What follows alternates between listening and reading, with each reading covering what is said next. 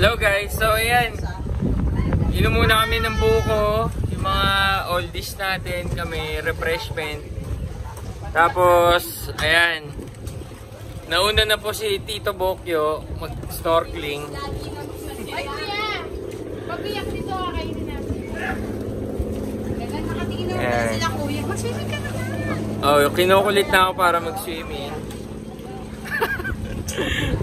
Bye-bye muna.